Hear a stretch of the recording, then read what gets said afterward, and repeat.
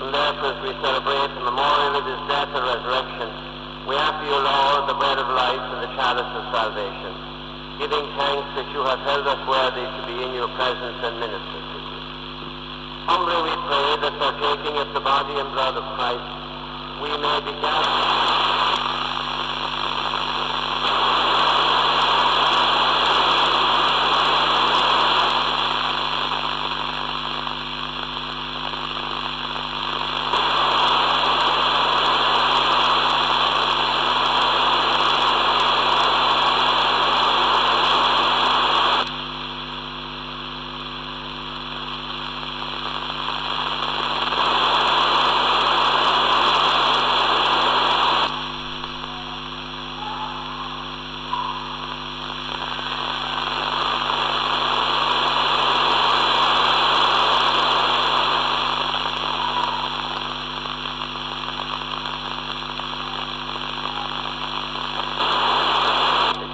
Jesus Christ.